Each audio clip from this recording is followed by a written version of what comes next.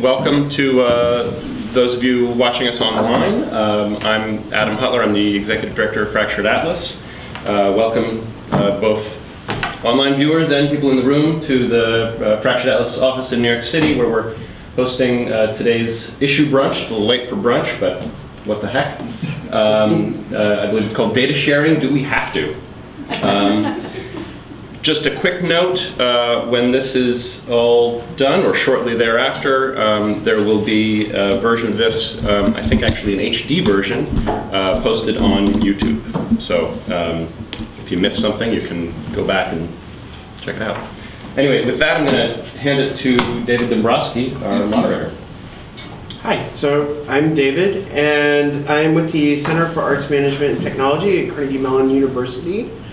And I'm just going to have us go around the table and introduce ourselves and talk a little bit about the work we do as it pertains to today's topic uh, of data sharing and do you have to? Or do you already? so I guess we'll start with uh, Deborah Abramson. Sure.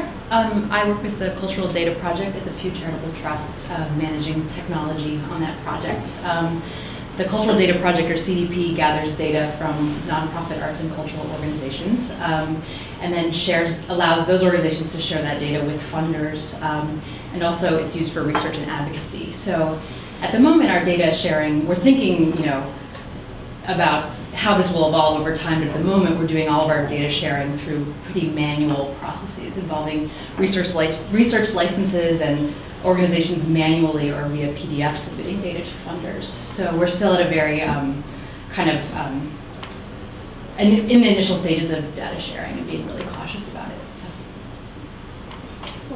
Um, I'm Maris Smith, and I am an account executive at Situation Interactive. We're, we're a full-service uh, interactive marketing agency for live entertainment, and including for-profit and nonprofit arts.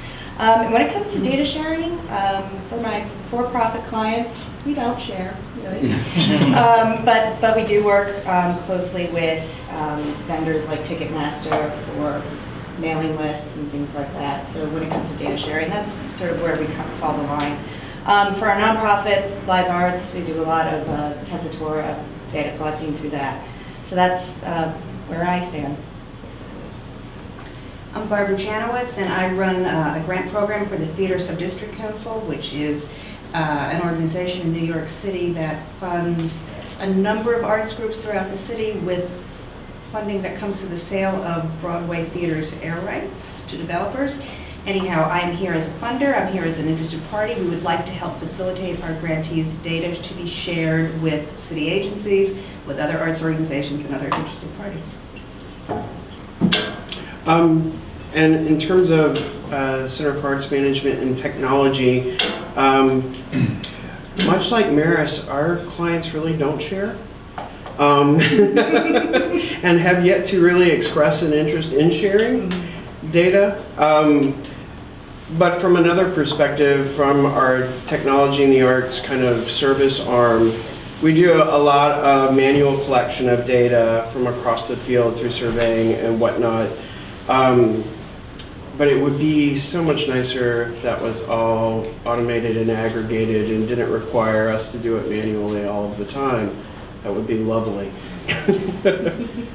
Chris. I'm Chris Mackie. I'm Executive Director of Collaboration Source, which is a nonprofit that helps mission-driven organizations, nonprofits, NGOs, and government agencies to transform themselves and their sectors by engaging differently with information technologies. So we use an approach called community sourcing, which involves bringing organizations together collaboratively to design, build, own, govern, sustain, and enhance technology going forward. So we share aggressively. I mean, uh, we, we, it's literally impossible not to share information and to share data given the kinds of work that we do and the way that we do it. And I've been doing that for, I don't know, on and off for better part of a decade now. Before this, I was at the Mellon Foundation, where we built a lot of the projects that use community sourcing. So there are about 25,000 nonprofits worldwide serving somewhere between 30 and 50 million people a day who use these technologies, and all of them are involved in one way or another with data sharing.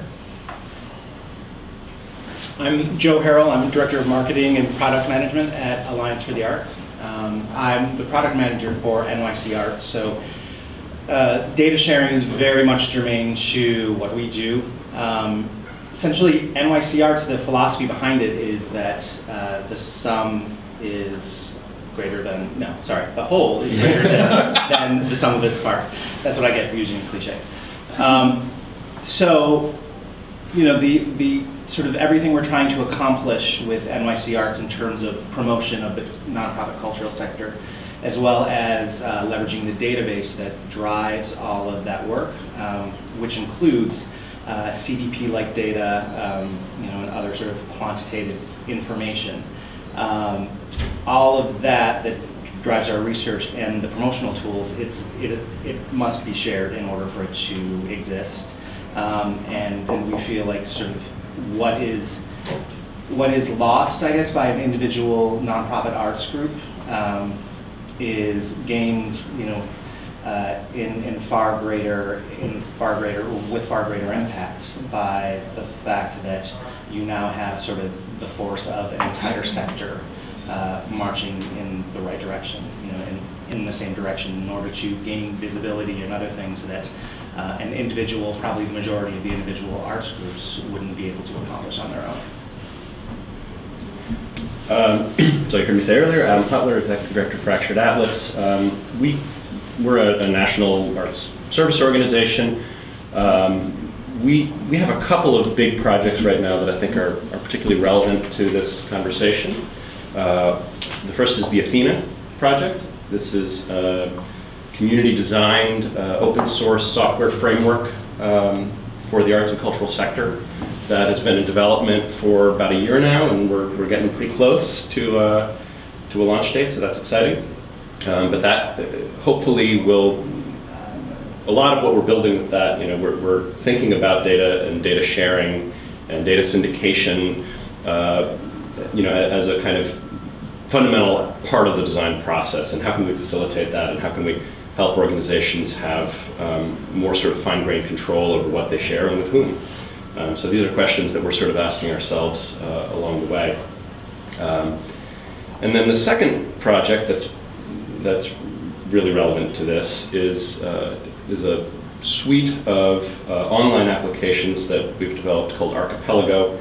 These are all about data aggregation, um, data aggregation, data visualization, um, analysis, uh, and, and kind of use in a decentralized way. I, I, realize that's all terribly abstract, but we can get into some of the specifics later on if it becomes relevant.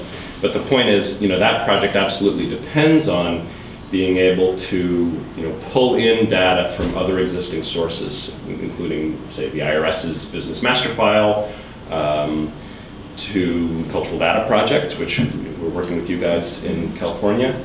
Um, you know, to our own online uh, uh, database of uh, performance and rehearsal spaces, um, you name it. There's a, PolicyMap where we're, we're, using to get um, demographic data to provide a sort of uh, demographic context to some of the information on, on where arts organizations cluster, things like that. So, um, you know, so that work is completely dependent on the ability to access good information uh, wherever we can uh, and also hopefully um, can serve as you know something like a clearinghouse almost for uh, being able to then redistribute or, or resyndicate um, that information to you know anyone who wants to, to use it. Um, so yeah.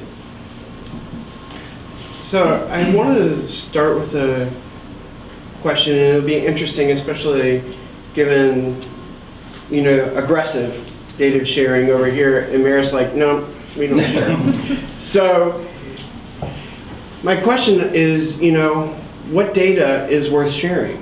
And what data should not be shared?